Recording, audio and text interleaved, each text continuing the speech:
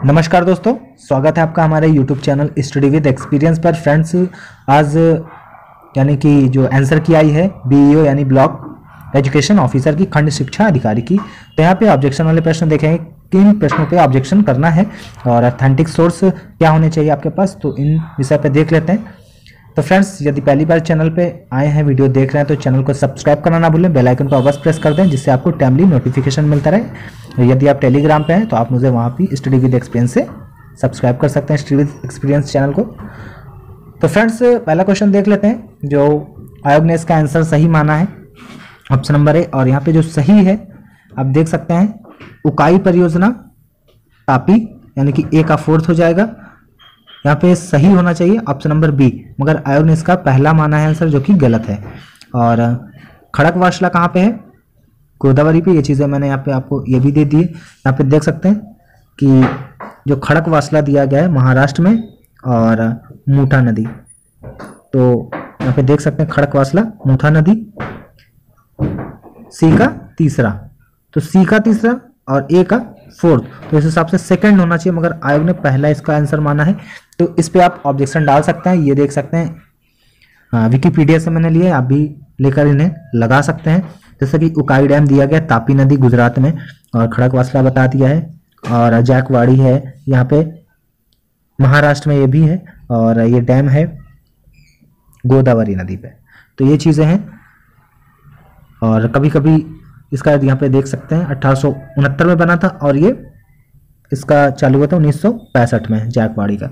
और जो मयो राक्षसी है, उसका मैंने नहीं दिया क्योंकि तीन ही काफ़ी हैं और सब मिला के आप मैच कर लेंगे, चारों को लगा देंगे तो ये बिल्कुल अथेंटिक माना जाए तो फ्रेंड्स आयोग की जो नोटिफिकेशन आई, वो मैं बात को आपको दिखाऊँगा, पहले प्रश्न देख लेते हैं। और यहाँ पे एक क्वेश्चन है, पहली दलहनी फ़सलों में गांठ के लिए आवश्यक क्या होता है? तो ऑप्शन जो सही होगा, नाइट्रोजन, मगर आयोग ने इसका आंसर बोरान दिया जो कि बिल्कुल गलत है। और यहाँ पे देख सकते हैं साफ़ साफ़ जो कि दलहनी वर्ग की इन सभी फ़सलों में प्रोटीन काफ़ी मात्रा में होने के कारण इनमें नाइट्रोजन की भी ज़रूरत नहीं पड़ती।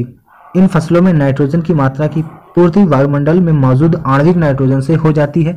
दलहनी फ़सलों की जड़ ग्रंथि, जो गांठे यहाँ पे आप क्वेश्चन में भी दिया गया था, में पाए जाने वाले राइजोबियम जीवाणु, वायुमंडल की स्वतंत्र नाइट्रोजन को यौगीकृत करके पौधों को मुहैया कराते हैं। इस कारण इन फ़सलों को ज़्यादा नाइट्रोजन की ज़रूरत नहीं पड़ती है, परंतु ज़मीन में मौजूद राइजोबियम जीवाणुओं को पौधों की जड़ों पर ग्रंथियाँ बनाने में 20 से 30 दिनों का समय लगता है। जो गांठ होती है, उनको बनाने में 20 से 30 दिनों का समय लगता है, इसलिए इस समय पौधों की बाढ़वर या जड़ ग्रंथियों के विकास के लिए उर्वरक नाइट्रोजन का इस्तेमाल करना फ़ायदेमंद है। तो फ्रेंड्स, ये नाइट्रोजन ही इसमें होगा और यहाँ पे ये अथेंटिक सोर्स है। तो विकीपीडिया पे भी ले सकते हैं या एन से भी ले सकते हैं और ये लगा के आप इस पर ऑब्जेक्शन डाल सकते हैं और नाइट्रोजन ही होगा।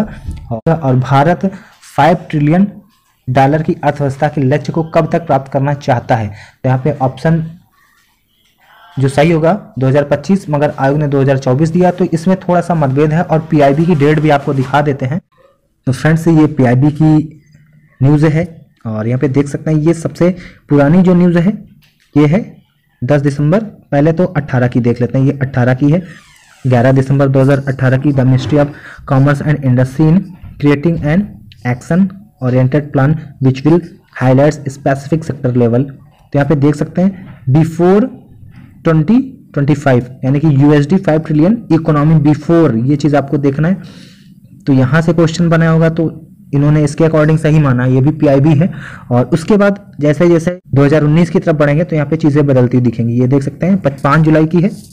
और यहाँ पे दिया गया Indian economy will become a three trillion dollar economy in the current year and is on the path of achieving the prime minister's vision of a five trillion dollar economy by twenty four to twenty five तो friends चौबीस पच्चीस year दिया है, मगर यहाँ पे आके चीज़ें क्लियर की हैं 24 दिसंबर 2019 में। तो ये सबसे लेटेस्ट है तो आप ऑब्जेक्शन में लगाइएगा तो इसके अकॉर्डिंग आपका सही हो जाएगा। तो फ्रेंड्स ये तीन क्वेश्चन है ऑब्जेक्शन के लिए। और भी ऑब्जेक्शन वाले क्वेश्चन यदि आपको लगे तो आप कमेंट बॉक्स में मुझे कमेंट करके बता सकते हैं। तो मेरे द्वारा अभी इतने ही क्वेश्चन देखे गए हैं जो मुझे लगा कि ये ऑब्जेक्शन लायक हैं।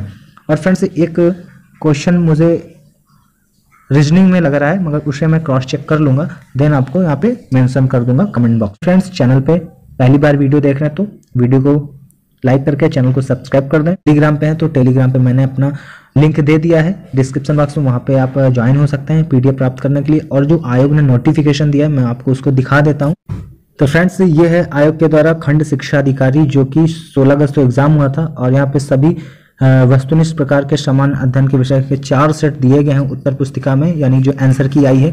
और ये 24 अगस्त तक उपलब्ध रहेगी और इसके संबंध में अभ्यर्थियों को एतद द्वारा सूचित किया जाता है वे आयोग द्वारा वेबसाइट पर प्रदर्शित उत्तर कुंजी को देख लें, यदि कोई विसंगति उन्हें प्रतीत होती है।